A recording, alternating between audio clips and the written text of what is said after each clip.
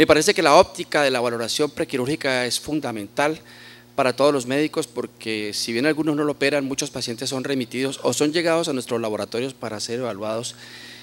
Y aunque existe, eh, no existen muchos estudios controlados que diga cuál sea el mejor camino, sí existen algunos consensos donde puede decirse qué es lo más conveniente para estos pacientes y qué puede predecir que una cirugía sea buena o sea mala para que sea llevado a una intervención antirreflujo. Estos son los objetivos de mi presentación. Eh, comparar las modalidades de tratamiento de reflujo, definir las indicaciones para cirugía, determinar cuáles son los exámenes funcionales que son útiles para la intervención y proponer un algoritmo de un consenso de acuerdo que yo encontré por ahí y que es el que yo aplico. Vamos a recordar que los anti-H2 y los IVP no son medicamentos antirreflujo, son antisecretores y que en la medicina actual solamente disponemos de algunos pocos métodos antirreflujo, entre ellos la cirugía, algunas intervenciones eh, endoscópicas actualmente, eh, como el TIF y el, el, LINX, que es un anillo que se está colocando, y no tenemos sino una droga antirreflujo que es el baclofen, que no la podemos usar por sus efectos secundarios. Entonces la enfermedad en su punto más crítico, que es el reflujo en sí misma, no tenemos en este momento un tratamiento dirigido hacia allá. Tenemos la forma de inhibir la secreción ácida, que es un componente importante de la enfermedad, pero los medicamentos solo inhiben eh, la secreción de ácido, no inhiben los episodios de reflujo, no controlan el reflujo no ácido, que es una causa de refractariedad. Hasta el 30% de los pacientes no respondedores puede ser responsable del reflujo no ácido. Y la persistencia sintomática es muy variable, en estudios controlados 32% y en estudios observacionales 45%, posiblemente en los estudios observacionales porque hay mucho paciente funcional metido como, como supuesto reflujo. La fundoplicatura es un tratamiento antirreflujo, nadie lo puede negar, está demostrado. Bloquea el reflujo ácido y no ácido, controla adecuadamente los síntomas y los resultados a largo plazo depende de quién sea el protagonista de la intervención. En comunidad 61% y expertos 94%. La mayoría de los centros del mundo no cuentan con cirujanos de esos grupos de excelencia donde los pacientes son llevados con una altísima probabilidad de buen resultado y tienen cirujanos que están haciendo eso muchas veces a la semana. Este es uno de los estudios más famosos, hablando de, de, del año 2008, donde vemos que a tres años los resultados son comparables en esomeprazol y cirugía antirreflujo laparoscópica. Entonces, podríamos concluir de esta diapositiva simple y llanamente que la enfermedad por reflujo es una enfermedad que es quirúrgica y punto. Pero tenemos muchos asteriscos y son estos. Cuando se han hecho los estudios, los estudios en, en, en, en centros de excelencia, los resultados son bastante halagüeños y muy optimistas. Sin embargo, en este estudio del doctor Baquil, que es famoso, fue hecho, con, médicos de comunidad y vean lo que hay, mortalidad hasta el 2%, disfagia temprana 30, 35, disfagia tardía 22%, el síndrome de gas blotting, que no es lo mismo que el intestino irritable, que es un trastorno hormonal, es, que es bien difícil de tratar, 22%, flatulencia 67, cirugía adicional 7, dilatación esofágica 29 y uso de BioEP de 19 a 62%. Entonces, esto desestimuló, eh, hay un estudio muy famoso del doctor Specter que desestimuló la cirugía antirreflujo y los cirujanos dejaron de hacer antirreflujo y se dedicaron fue a hacer bariátrica. Y entonces, eh, eh, recientemente se está retomando esto con una intención más quirúrgica en los pacientes que puedan tener éxito.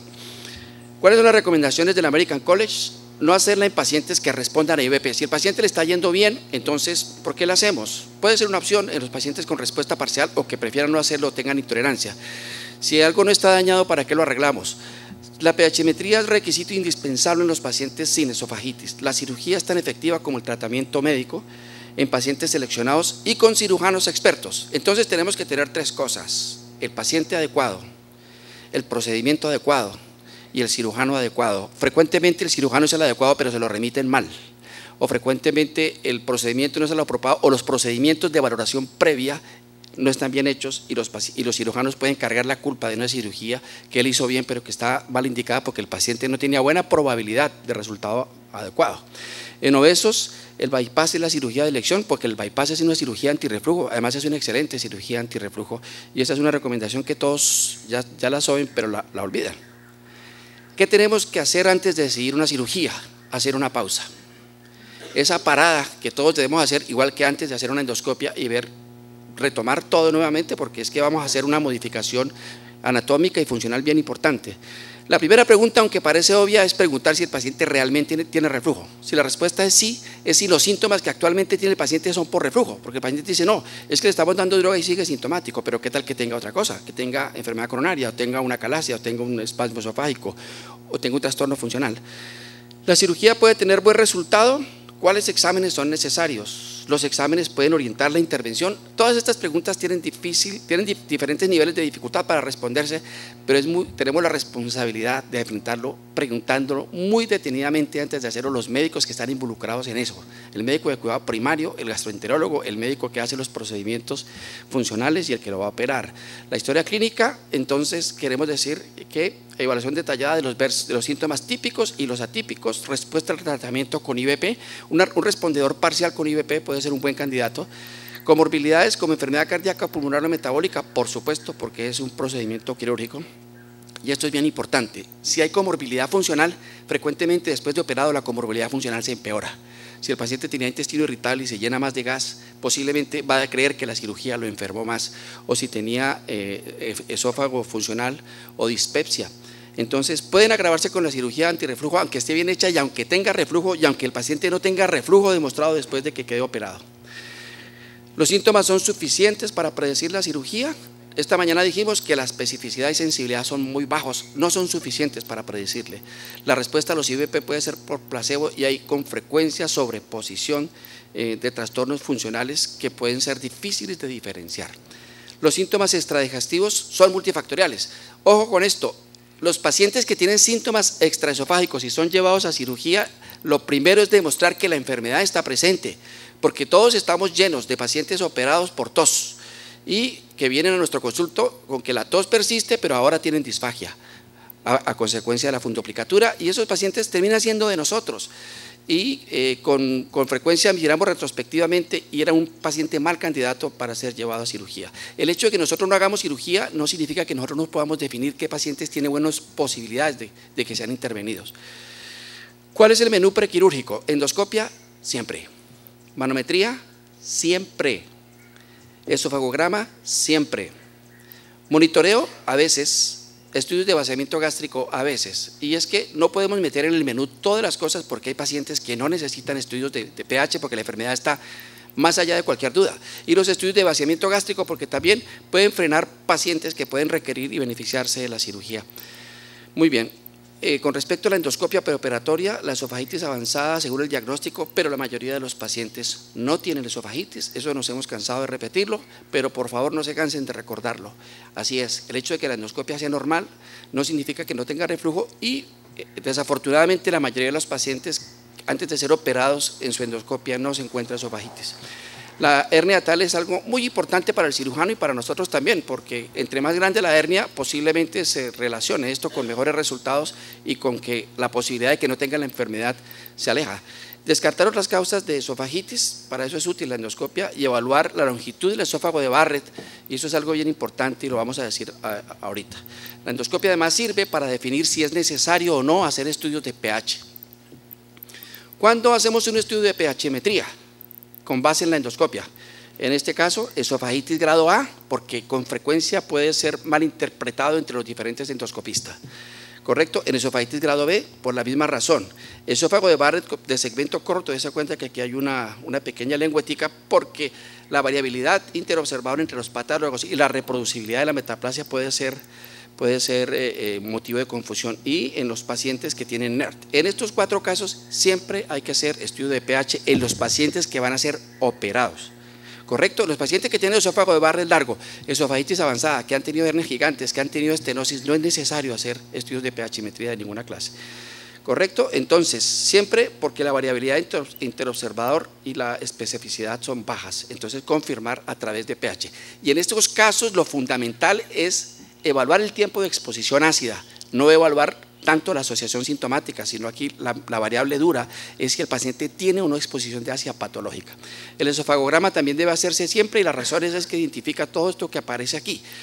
Por favor, insistamos en que el esofagograma es un estudio también funcional, que eso se ha olvidado con los estudios multicorte, el arte del esofagograma, que es hacer las posturas, evaluar el timing de vaciamiento, la reproducción de, las hernias y el, estudio con diferentes medios de contraste, es algo que no se está haciendo y que es útil para nosotros para ver si hay anillos, si hay divertículos, si hay reproducción de hernias. Entonces, es muy, muy importante que nosotros nos involucremos y hablemos con un radiólogo que nos dé ese, esa oferta de, poder estudiar el esófago más allá de las imágenes. Miren lo que está aquí para recordar solamente que hernia tal hay de muchas clases, pero fundamentalmente son tres. La que es por deslizamiento, donde el, esfínter está desplazado con respecto a la crura diafragmática, donde aquí hay un defecto para diafragmático, ya sea una bolsa para esofágica, y donde hay una forma de componente. Estas dos hernias tienen que operarse siempre, aunque los pacientes no tengan reflujo por la posibilidad de que se complican. Aquí tenemos la representatividad de las lesiones en la radiografía. Y el propósito es fundamentalmente estar seguros de que no hayan otras enfermedades que produzcan los síntomas del paciente y operemos un paciente que tenga un trastorno motor, especialmente un trastorno espástico, que tenga una calasia, algunas veces nos hemos encontrado con la sorpresa que en el estudio prequirúrgico lo que el paciente tenía era calasia. Sirve para medir la distancia del esfínter esofágico inferior, evaluar la función peristáltica y aquí pongo esto interrogado porque no hay un estudio que confirme qué, tipo de, de manometría nos podría decirle al cirujano, ¿sabe qué? Opere parcial u opere total.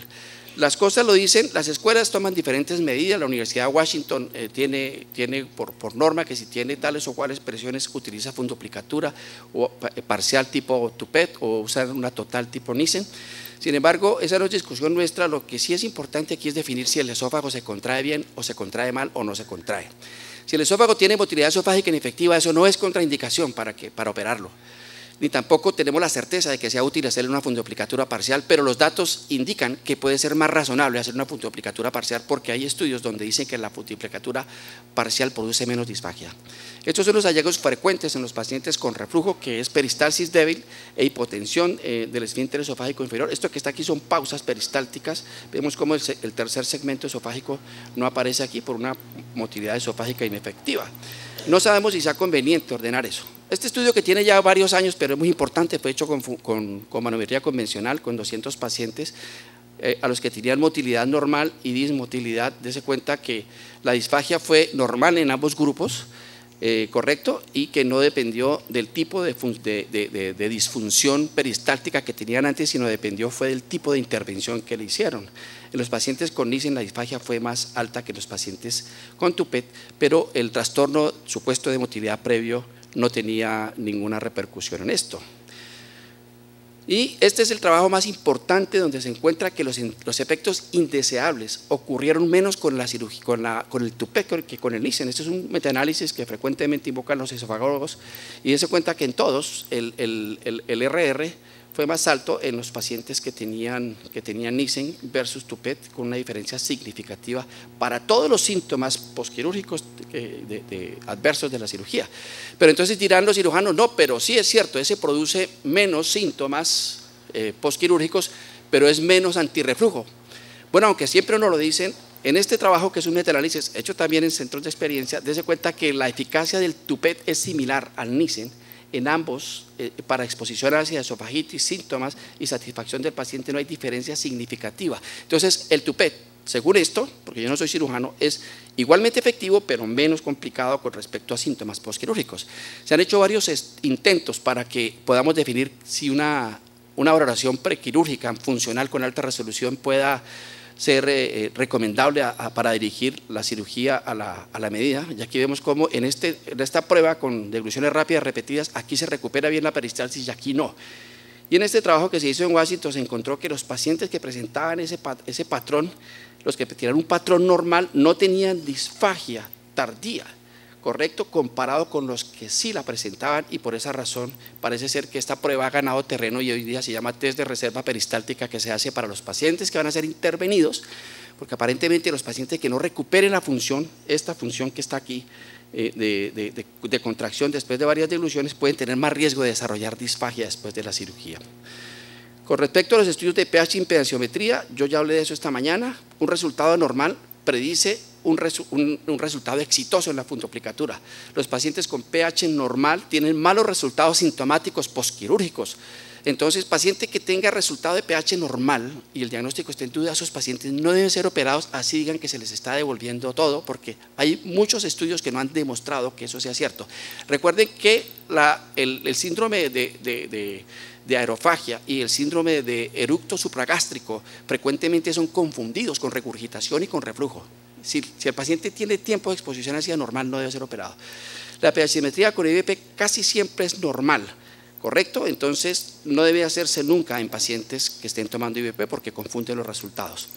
La pH con impedanciometría mide el reflujo total ácido y no ácido, pero aquel paciente que tiene reflujo no ácido después de tomar dosis dobles de IVP, no tenemos suficiente evidencia para recomendar la cirugía aún. No tenemos estudios bien controlados, aunque recientemente aparecen eh, unos estudios de series de casos donde les va muy bien, como en este que está aquí, que fue hecho en Italia, donde vemos cómo los pacientes con reflujo no ácido, después de ser operados, el número total de eventos de reflujo se reduce significativamente. Entonces, pH impedancia prequirúrgica, tenemos muchas preguntas no resueltas. No hay estudios controlados de cirugía para reflujo no ácido. ¿Cómo se define la anormalidad en este grupo específico de pacientes? ¿Cuáles son los parámetros que predicen respuesta? Tenemos datos insuficientes para recomendar cirugía en pacientes sintomáticos con IVP con base en resultados de pHimetría. Los resultados de pHimetría en pacientes sintomáticos con IVP se fundamentan exclusivamente en asociación sintomática y eh, por ahora pues eso es lo que dice la evidencia. Estudio de pH prequirúrgico hacer la prueba sin IVP en formas leves de esofagite o barres cortos, hacer la prueba con H eh, con IVP eh, puede ser útil en pacientes sintomáticos refractarios a dosis dobles y garantizar que no hayan errores en la prueba. Y para ello es necesario asegurar que el catéter se colocó 5 centímetros por encima del borde superior del esfínter esofágico superior.